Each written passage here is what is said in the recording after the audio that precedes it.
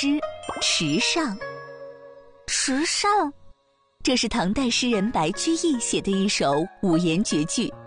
白居易特别喜欢去各种池塘游玩，光游玩还不够，他还写下了三百余首和池塘有关的诗呢。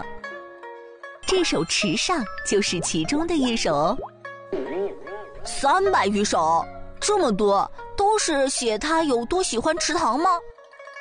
这不一定。就像这首《池上》，他写的就是白居易在池塘边看到的一件很有意思的事呢。是什么有意思的事呀，花花老师？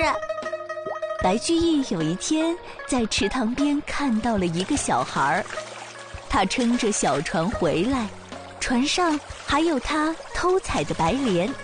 白居易被这个小孩的行为逗笑了，于是就写下两句诗：“小娃撑小艇，偷采白莲回。”这个小孩在偷东西啊，这是不对的。没错，一般的偷是可耻的、不对的，会让人感到讨厌。不过白居易这里写的偷采是不一样的哦。哪里不一样？不都是偷吗？我们可以先看前一句，“娃”是小孩的意思，“艇”是只小船，在“娃”和“艇”前面又各加了一个小字，更加突出了娃的幼小天真。这么小的小朋友，怕被大人发现，在偷偷的采白莲。如果你们看到了这个画面，你们会讨厌这个小朋友吗？不会，我觉得这个小朋友很可爱。所以这里的偷，不是偷窃，而是偷偷的，瞒着大人去的。你们小时候是不是也会做这样的事呀？嘿，我小时候经常背着妈妈，偷偷的把零食藏在床上吃。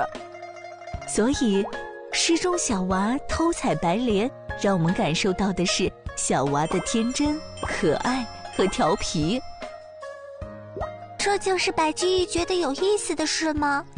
当然不止了，更有趣的是，小娃偷采了别人家的白莲，生怕被别人发现，只想着快快回去，却不懂得藏好自己的踪迹，没有发现小船已经把水面上的浮萍荡开，留下了一道清晰的水路，一时合不拢，于是白居易又写下两句诗：“不解藏踪迹，浮萍一道开。”